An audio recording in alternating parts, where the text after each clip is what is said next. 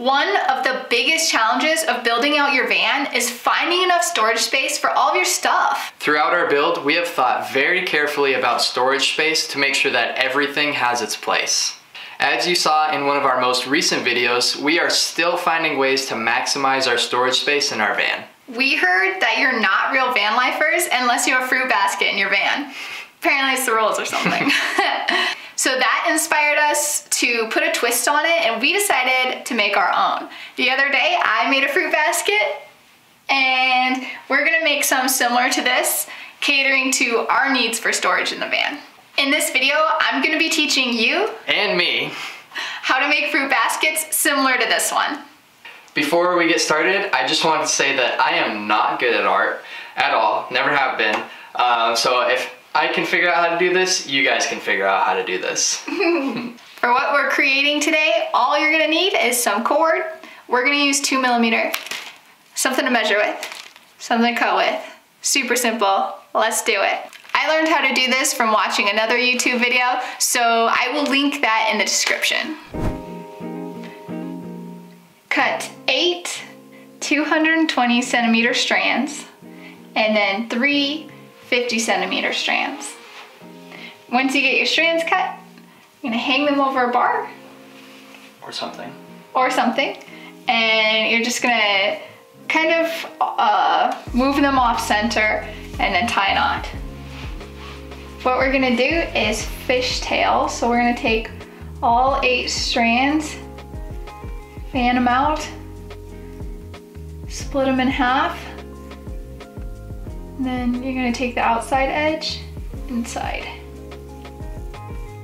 And you're just gonna repeat outside edge, inside. Outside edge to the inside of the other edge. Yeah. If you know how to fishtail braid, this is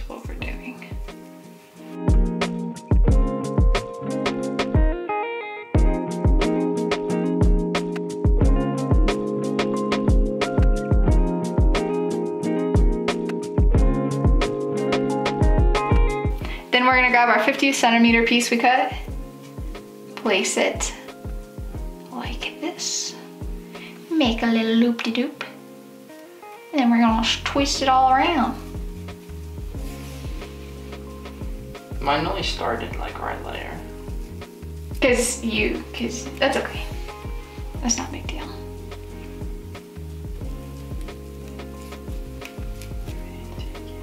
We put this end through the loop. And then we pull this end and it pulls it up in.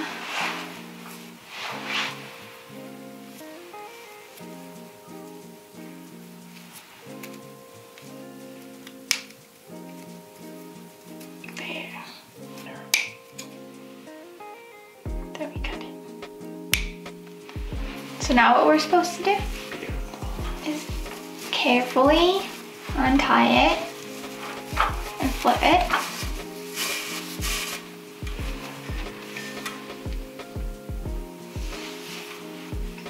Would you tie it for me?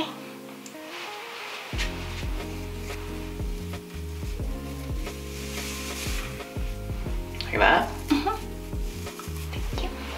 Flip it and we're gonna do the same thing to the other end.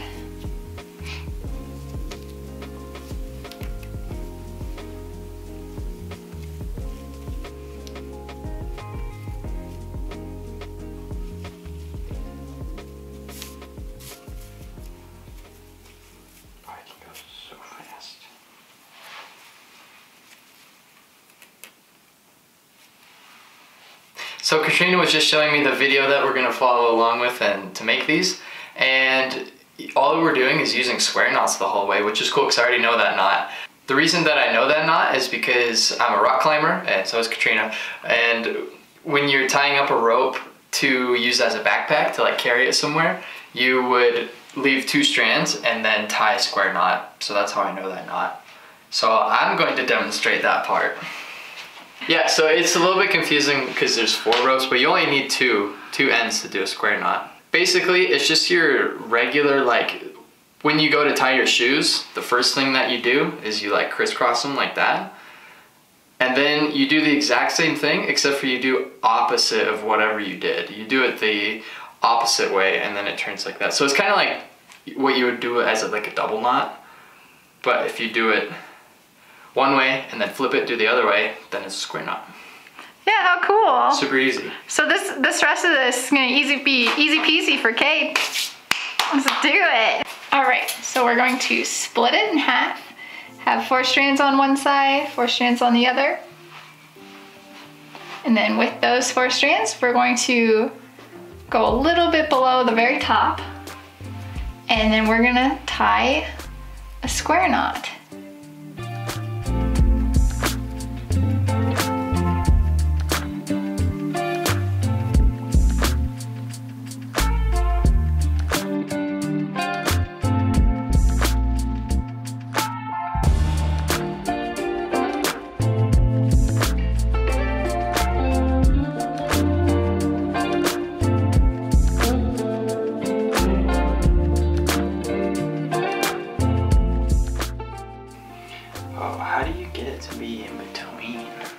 So I take this strand, I cross it over, Yeah. then I take this strand, I put it in front, yeah. and then I push it behind those two oh, you, oh. and over.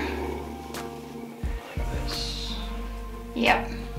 Then when I get confused is That which way to go, which one to do next. But I, You do the same- opposite one. You do exactly opposite. So Yeah. whatever you looped, or like whichever one you like crossed over, then you do the other side. got it.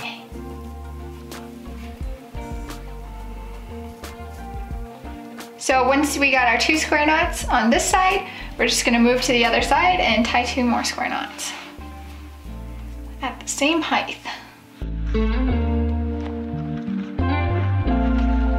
So what we're gonna do next is connect these together. So we're gonna take the two inside on this one, the two inside on this one, and we're gonna do exactly what we just did a little further down. We're gonna tie another square knot.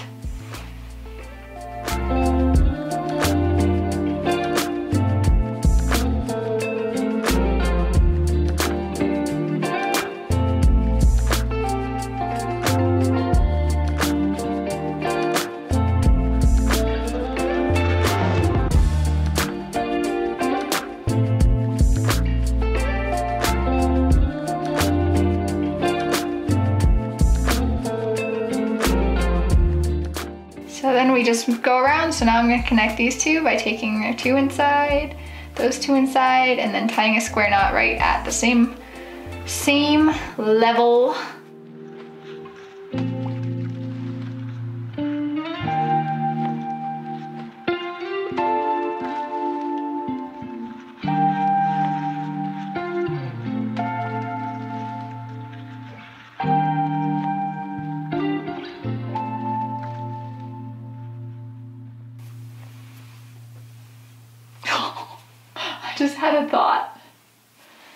Does this come off? Why? like, Oh, 'cause you just connected it to it. yeah, it's literally stuck on there now. this comes off, so we can go like this and go down. True. Okay. Make sure you have a way to get it off your pole. okay. Basically, that's what we just keep doing. So we keep going around.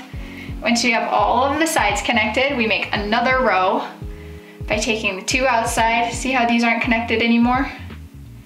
Taking the two inside, not outside, and square knotting them together.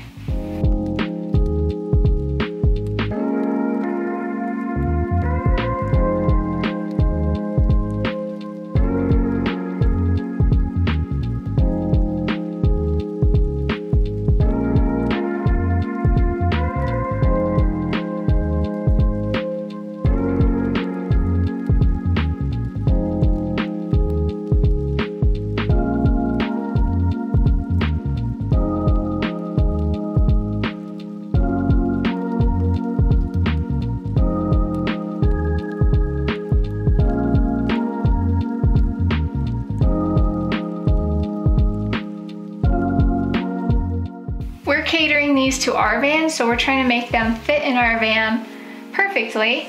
And Kayde measured. We have about 30 inches. Of course, we don't want to make them that long because we don't want them to hit the counter, but we have 30 inches to play with. When you start getting to a point where you think you have enough rows, you want to count them so you can see one, two, three, four, five rows that I have. I'm gonna do six and then a finishing row. When you have as many rows as you would like, we both did six, you're going to, once again, join the rows together by using a square knot. Uh, what? square knot.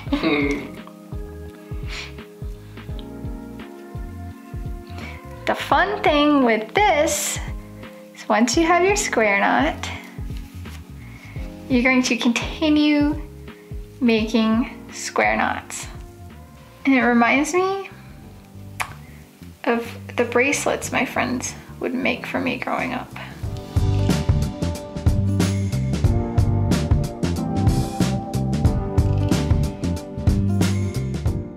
And then we're just gonna go around doing that same thing. One, two, three, four, five? Yep.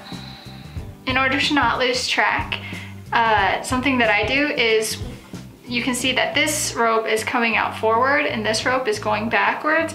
Always take the backwards one and start with that one. If you start losing track. Yeah, I'm getting quick at these. I found a quick way. How? I just do it like bam. Oops, I did it the wrong way that time though. Okay. You distracted me. Wow, I distracted you? You said you were getting fast. Well, I am until you guys distracted me. Okay. We take our last 50 centimeter piece of rope, gather it at the bottom, gather everything. And just like we did earlier, we leave the top up, a little bit at the top, we make a loop, and then we wrap.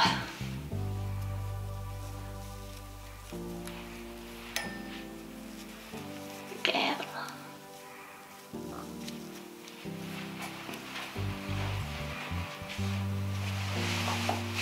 Put it through. Pull up on this string and let pull it through. Ugh. Cut off excess, excess. And we determine how long we want our bottom to be and we just snip. I'm gonna grab my tape really quick. I think I'm just gonna cut it like right, right here. Okay.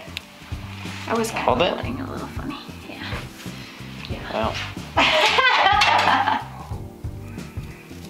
ah, you cut my hand. No, I didn't. Mm. Look! Everybody see mine? Look how beautiful it turned out. Oh yeah. Hey, look at that's like cool. They turned out almost identical, same length, Yeah, you can't even tell whose is whose. without even trying. That's cool. And we're just gonna go snip. Perfect. Here is the final product. I think they kind of look like mermaid tails. so cool. So we'll show you them in the van. Before we go put these in the van, we just wanted to mention that we started a Patreon page. So if you like what we're doing and you want to support us as creators, go down in the description, click the link below and check it out. It means a lot to us. For those of you that don't know, Patreon is a subscription-based service that allows you to directly support us while also gaining some extra bonus content from us. There are four tiers to choose from, starting with the Dreamer tier at only $5 a month. Each tier gains you more and more access to different types of bonus content, including our monthly newsletter, some blooper photos, a blooper video, and some live stuff that's gonna come in the future. If this is something that you would be interested in, go down in the description and click the link and check it out. All right, let's get back to the video. We're not hanging them today because we're not ready to commit to that yet. We don't know exactly where we should put them, but that is what you guys should let us know. Tell us your favorite spot. We're thinking like here. Looks nice. Or here. It actually is like a good length too. Like picture, because we're gonna just basically hang a bunch of them next to each other. So we'd have like a cute little fruit corner. Oh, these are heavy in one hand. I mean, we could hang them basically anywhere along here. I think, well, that's, Uh, you definitely need a corner. they can't hang over my head when I sleep. They could. They could, I guess. Yeah. So this would be over my head though. But your mattress will come to like here. I think it'll tickle my nose. We could also put them over here, Oh. couldn't we? Maybe. Or at least we could put one. Like Yeah. over here. Yeah. Oh, one lower. Here? You could. It's an option. Nope. Okay, that's not an option. Yeah, so we have a few options. So, should we hang them on the higher one? I'm kind of thinking we should. Or should we hang them on the lower one? I mean, either one. We're gonna end the video here. If you end up making one of these, let us know, tag us in our Instagram and show us. We can't wait to see them. Also, let us know in the comments where we should hang these in the van. Thanks for watching. It's been really busy for us lately and we haven't been on our normal video schedule, but we're gonna get back to that soon and we appreciate you guys coming along with us.